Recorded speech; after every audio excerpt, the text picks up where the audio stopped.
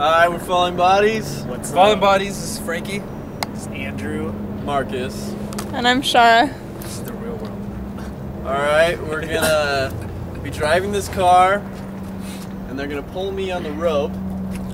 And the goal of this, believe it or not, me, hello, is to find out how much work the car does on me. And you, got, you guys want to add anything?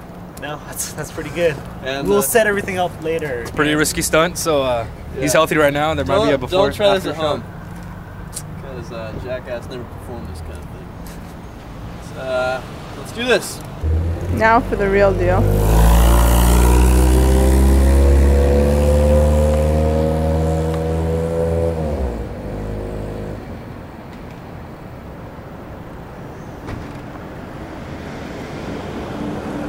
Yeah, I totally got to know. That's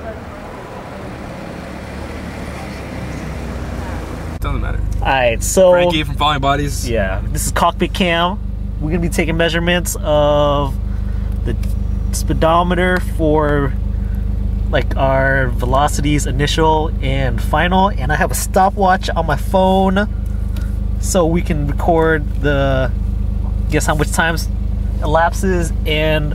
I The rope? We we got the rope here, and it goes back to Mark's Mark. back there. Marcus is back there. All right, let's but do wait, this. and then we got a we got the odometer, so we know how far we went. Let's go. Let's do it. All right, On three. Are we ready? We're ready. Let's go. So V initial is zero. Going up. V final is about 20. We'll probably watch the tape again later to check how fast we went. And we're done. Woo! There's Shar in her car. Here comes Marcus. That was so exhilarating, guys. Oh my god. Yeah. Hi, this is Falling Bodies. I'm Shara. Um, we just came in from outside doing our little experiment with Marcus driving behind um, Frankie's car. And we're going to show you all the measurements on the whiteboard on how much work was done on Marcus by the car. And uh, this is the this is the image that I see when I uh, look at the video. I don't see a car or anything. Just this is what I see. And uh, it's a free body diagram, and um, the F shows the force of the car working on Marcus, and that's the friction force working on Marcus, which is the opposite way, which will be negative.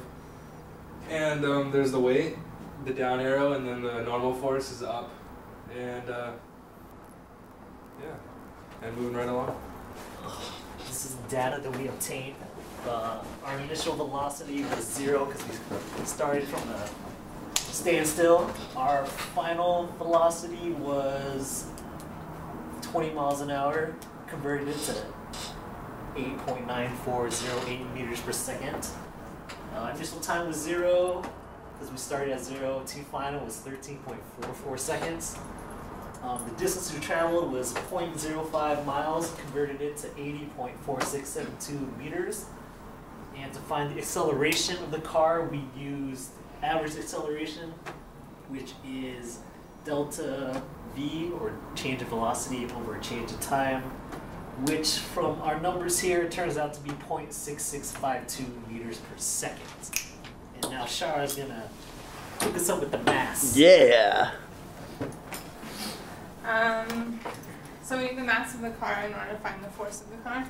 And the mass of the car we found to be 10, 125 kilograms. And the mass of the people in the car, which is Frankie and Andrew, was um, 72.5748 kilograms. We multiplied that by 2 since there's two people, and we get the total mass, which is 1170.1496 kilograms. Alright, then we had to find the force of the car. As you know, F equals ma.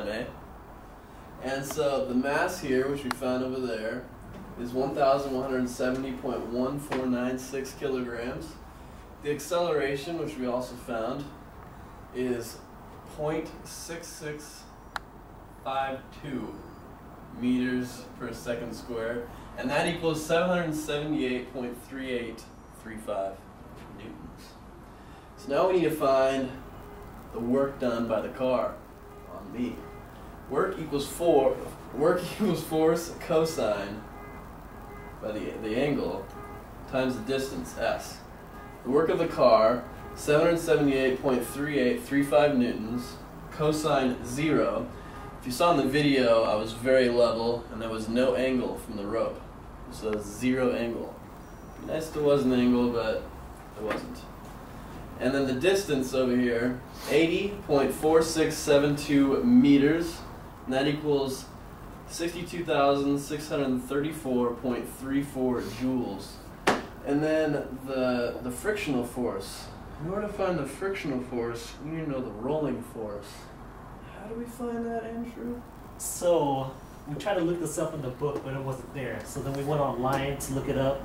So the rolling force is equal to the coefficient of rolling friction times the normal force divided by the radius of the wheel. And we found the average value for the coefficient of rolling friction for a hard rubber wheel, which was the wheel for the rollerblade, on pavement was 0.05. The normal force is 880.04 newtons, which is we found is Marcus's weight, which is equal to mg. He weighs 198 pounds. We converted that to kilograms, multiplied it by gravity, and that's 880.04. And the radius of the wheel was 0.30381 meters because it was one and a half inches and converted it. So that comes out to 346.47 newtons. And then we gotta put all that to wrap everything up, which we go back to Marcus. Back to me. Okay, so the the the work of the, the friction is still F cosine times distance, and the friction over here we found was 346.47 newtons times cosine 180 multiplied by the distance s 80.4672 meters, and that gives you negative 27,879.47 joules. And after all that hard work they did figuring out the workforce, I'm here to find the total work, which is why we're here tonight. And uh, work total equals the work of the car plus the work of friction force, which is negative because it's the opposite direction. And doing all that, we added them together and we got 34,754.87 joules. And that concludes tonight's viewing of our show. Hope you guys like it. And uh, yeah. Marcus! Frankie! Thanks for watching Bye, Falling buddies. Buddies! Evolution never happened!